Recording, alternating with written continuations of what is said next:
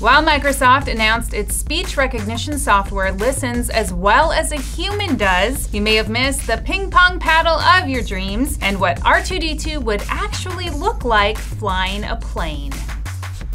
Welcome to In Case You Missed It, where these Price is Right contestants are acting exactly how all the US will once the election is over.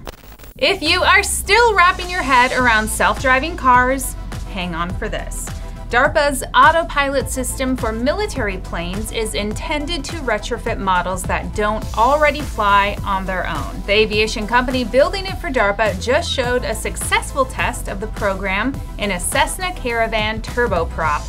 It uses a robotic arm and tablet with speech recognition to be the best little co pilot it can be. It probably even lets you pick the music, which would be much better than this nightmare fuel.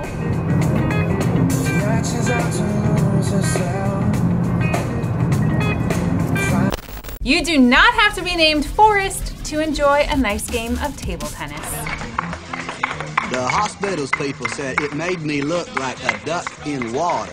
And with the Ping Pong FM, you'll be able to set your next match to music. This smart tennis table embeds contact microphones in its paddles, which track how quickly the ball is being batted back and forth. It then adjusts the tempo of music being played through its speakers, so as the rally heats up, so too do the tunes. If that were me, I'd make it like two times max. Go!